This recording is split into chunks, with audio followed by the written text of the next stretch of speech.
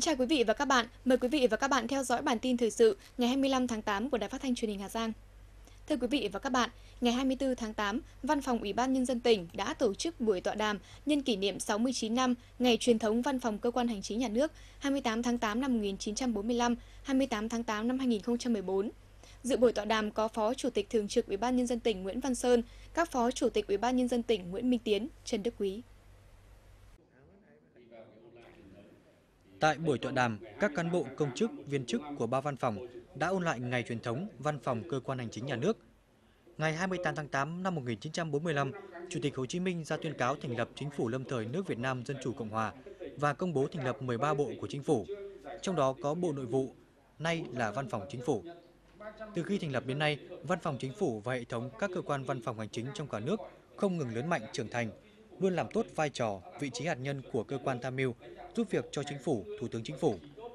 Để ghi nhận sự ra đời và phát triển của văn phòng, năm 2002, Thủ tướng Chính phủ quyết định lấy ngày 28 tháng 8 hàng năm là ngày truyền thống văn phòng của các cơ quan hành chính nhà nước.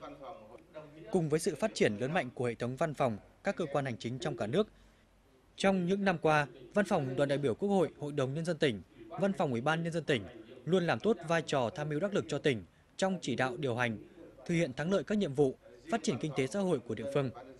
Do đó, các tập thể cán bộ của ba văn phòng đã vinh dự được tặng nhiều phần thưởng cao quý của Đảng, Nhà nước, các bộ ngành trung ương và của tỉnh. Phát biểu tại buổi tọa đàm, Phó Chủ tịch Thường trực Ủy ban Nhân dân tỉnh Nguyễn Văn Sơn nhấn mạnh, trong những năm qua, Văn phòng Đoàn đại biểu Quốc hội, Hội đồng Nhân dân tỉnh và Văn phòng Ủy ban Nhân dân tỉnh đã luôn hoàn thành tốt nhiệm vụ vừa tham mưu, vừa phục vụ cho các đồng chí lãnh đạo tỉnh. Các văn phòng đã có bước phát triển vượt bậc, vượt qua khó khăn về cơ sở vật chất tinh thần. Trong quá trình thực hiện các nhiệm vụ phát triển kinh tế xã hội của tỉnh, luôn có sự đóng góp không nhỏ, sự tham mưu của các văn phòng. Phó Chủ tịch Thường trực Ủy ban Nhân dân tỉnh mong muốn trong thời gian tới, Văn phòng Đoàn đại biểu Quốc hội, Hội đồng Nhân dân tỉnh và Văn phòng Ủy ban Nhân dân tỉnh tiếp tục cố gắng, nỗ lực phấn đấu để luôn hoàn thành xuất sắc các nhiệm vụ, xứng đáng với vai trò là cơ quan tham mưu tổng hợp, qua đó góp phần hoàn thành các mục tiêu kinh tế xã hội của tỉnh. Sáng nay 25 tháng 8, Ban tuyên giáo tỉnh ủy đã tổ chức hội nghị báo cáo viên tháng 8 năm 2014 để phổ biến một số chuyên đề mới, đồng thời giao ban công tác tư tưởng, định hướng công tác tuyên truyền trong giai đoạn tiếp theo. Các đại biểu tham dự hội nghị được nghe báo cáo viên của Bảo hiểm xã hội tỉnh báo cáo kết quả thực hiện luật bảo hiểm y tế trên địa bàn tỉnh Hà Giang trong 7 tháng đầu năm, phương hướng 5 tháng cuối năm và những nội dung cơ bản của luật bảo hiểm y tế sửa đổi.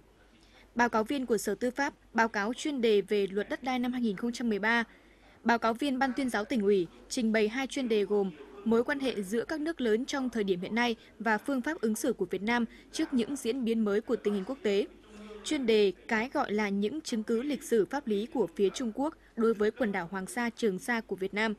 Các giải pháp đấu tranh nhằm củng cố chứng cứ pháp lý về quần đảo Hoàng Sa, Trường Sa của nước ta trong thời gian tới. Cũng tại hội nghị lần này, các báo cáo viên còn tổ chức ra ban công tác tư tưởng, định hướng công tác tuyên truyền trong thời gian tới. Đây đều là những nội dung lớn đang được nhân dân quan tâm, do vậy việc kịp thời phổ biến, tuyên truyền các nội dung trên sẽ có ý nghĩa kịp thời định hướng tư tưởng trong dư luận, đồng thời tạo được sự đồng tình, ủng hộ của nhân dân.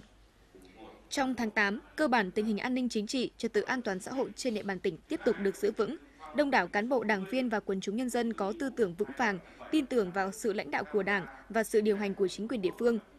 Các nhiệm vụ về phát triển kinh tế, ổn định xã hội, các chương trình chính sách dành cho đồng bào đều được triển khai đảm bảo hiệu quả, chính xác và kịp thời.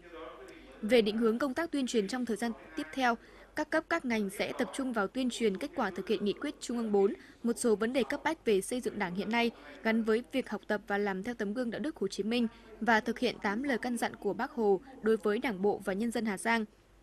Đặc biệt là đẩy mạnh tuyên truyền về 45 năm thực hiện di trúc của Chủ tịch Hồ Chí Minh, tiếp tục tuyên truyền về Đại hội Đảng các cấp tiến tới Đại hội Đảng bộ tỉnh lần thứ 16, nhiệm kỳ 2015-2020 tuyên truyền về bảo tồn, tôn tạo, phát huy các giá trị di sản của công viên địa chất toàn cầu cao nguyên đá Đồng Văn. Bên cạnh đó, các nội dung về chủ quyền biển đảo Việt Nam cũng như việc thực hiện chỉ thị của Ban Thường vụ tỉnh ủy về đổi mới phong cách và lề lối làm việc của các cấp các ngành và toàn thể cán bộ đảng viên trong thi hành công vụ cũng sẽ được đẩy mạnh. Thưa quý vị và các bạn, 7 tháng đầu năm 2014, công tác thu hút, vận động các nguồn vốn ODA và các dự án phi chính phủ luôn được tỉnh quan tâm chú trọng. Đến thời điểm hiện tại, toàn tỉnh có 7 dự án ODA và 27 dự án phi chính phủ nước ngoài đầu tư, hỗ trợ phát triển kinh tế xã hội, xóa đói giảm nghèo ở địa phương. Trong tháng 7, Hà Giang đã có hai dự án được ký kết hiệp định vay vốn của Ngân hàng Thế giới là dự án tăng cường hệ thống trợ giúp xã hội Việt Nam và dự án cải thiện nông nghiệp có tưới. Hai dự án được phê duyệt văn kiện gồm dự án hỗ trợ kỹ thuật phát triển các đô thị loại 2 lần thứ hai và dự án thành phần cải thiện nông nghiệp có tưới tỉnh Hà Giang. Hai dự án được chính phủ phê duyệt danh mục là dự án bảo tồn đa dạng sinh học và chương trình giảm nghèo dựa trên phát triển hàng hóa của tỉnh. Một dự án được thông báo danh mục đầu tư xây dựng là dự án phát triển giáo dục trung học phổ thông giai đoạn 2 tỉnh Hà Giang. Các dự án ODA đang tiến hành vận động gồm dự án nâng cấp hệ thống cấp nước thành phố Hà Giang, cấp nước khu đô thị Phương Độ, Phương Tiến, Phong Quang. Dự án cấp nước sinh hoạt phố mì tà Lủng, Bà Vi và khu vực lân cận huyện Mèo Vạc, tỉnh Hà Giang. Chương trình tiến dụng phát triển hạ tầng nông thôn quy mô nhỏ JICA. Dự án phát triển hạ tầng cơ bản cho các khu vực khó khăn của Hà Giang. Đối với các dự án phi chính phủ nước ngoài NGO đã được quản lý đầu tư đảm bảo đúng quy định của pháp luật, phát huy được hiệu quả các dự án. Hoạt động của các dự án phi chính phủ chủ yếu tập trung vào những vùng nghèo, vùng sâu, vùng xa, nơi đời sống nhân dân gặp nhiều khó khăn. 7 tháng đầu năm, đã có 27 dự án của các tổ chức phi chính phủ nước ngoài đang được triển khai tại 10 trên 11 huyện thành phố của tỉnh Hà Giang. Giá trị viện trợ mà các nhà tài trợ cam kết tài trợ cho các dự án là trên 7 triệu đô la Mỹ. 7 tháng đầu năm đã giải ngân là 1,3 triệu đô la Mỹ. Vừa qua, Trung tâm Học tập Cộng đồng xã Quyết Tiến huyện Quản Bạ đã phối hợp với Dự án Care Quốc tế tại Việt Nam tổ chức lớp tập huấn kỹ năng quản lý và thúc đẩy nhóm tại cộng đồng cho 40 người là trưởng thôn, đoàn thanh niên và phụ nữ các thôn bản. Với thời gian 2 ngày, các học viên được truyền thông trang bị một số kiến thức và kỹ năng quan trọng nhằm tổ chức tốt các hoạt động nhóm có sự cùng tham gia. Trong đó có kỹ năng điều phối các hoạt động nhóm, kỹ năng thúc đẩy sự cùng tham gia một số gợi ý vận dụng vào sinh hoạt câu lạc bộ để các buổi sinh hoạt tại các hội đoàn thể không phải là những cuộc họp trao đổi thông tin một chiều mà phải tạo cơ hội để các thành viên được thảo luận và chia sẻ thông tin, kiến thức một cách thoải mái. Khuyến khích các thành viên trao đổi chia sẻ kiến thức kinh nghiệm, đồng thời học tập lẫn nhau. Và một số câu hỏi gợi ý khi tổ chức một hoạt động nhóm, đặc biệt truyền thông những kiến thức kỹ năng cơ bản cho các hội đoàn thể, nâng cao nhận thức cộng đồng về phòng chống buôn bán người. Khóa tập huấn đã tạo sức thu hút đối với các học viên, giúp trang bị cho các cán bộ hội cơ sở những kỹ năng cần thiết để tổ chức điều hành các hoạt động tại cơ sở và cộng đồng, là một hoạt động thiết thực trong việc nâng cao năng lực cho cán bộ hội các cấp. Từ đó có kỹ năng tuyên truyền trong thôn các hội đoàn thể, nâng cao nhận thức cộng đồng về phòng chống buôn bán người trên địa bàn. Vừa qua, Đoàn Thanh niên Bộ Nông nghiệp và Phát triển Nông thôn phối hợp với tỉnh đoàn Hà Giang tổ chức một số hoạt động tình nguyện tại xã Sơn Vĩ, huyện Mèo Vạc. Trong những ngày diễn ra các hoạt động tình nguyện tại xã Sơn Vĩ, 50 cán bộ, đoàn viên thanh niên của Bộ Nông nghiệp và Phát triển Nông thôn đã phối hợp với xã tổ chức nhiều hoạt động ý nghĩa thiết thực.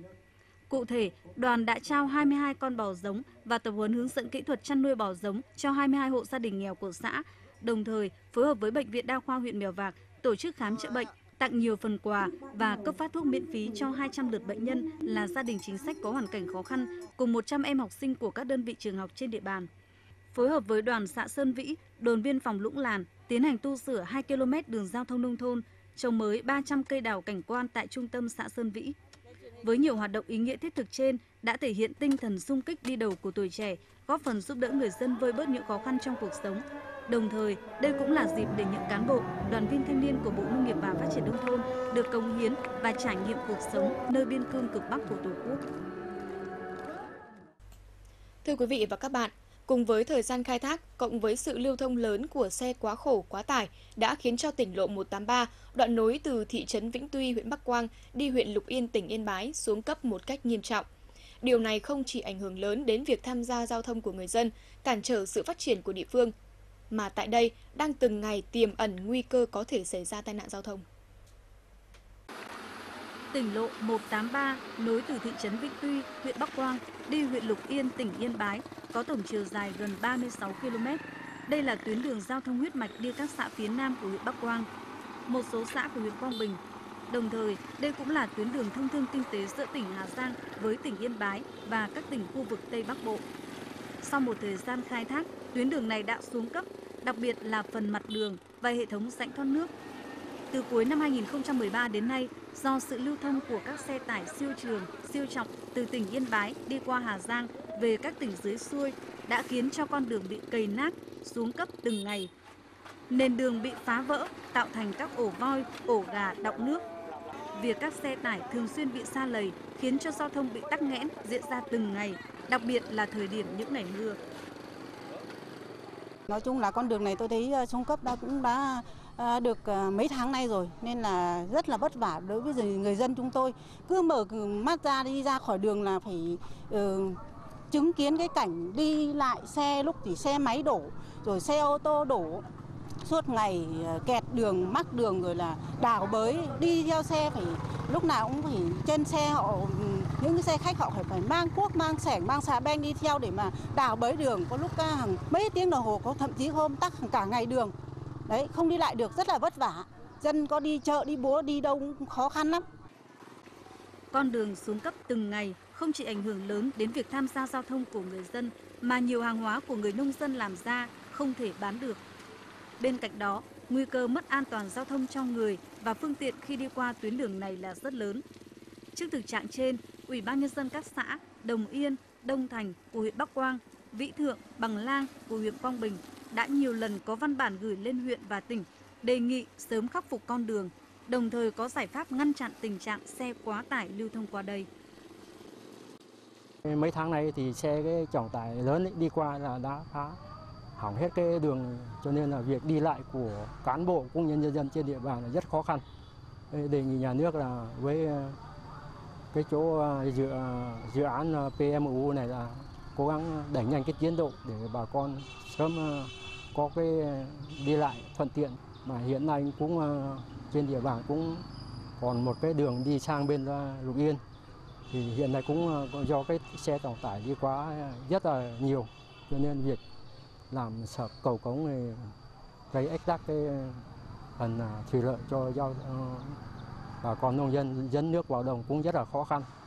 cho nên là đề nghị là các cấp có thẩm quyền cấp trên ấy là sớm à, tạo điều kiện để giúp đỡ xã rồi nâng cái à, tiến độ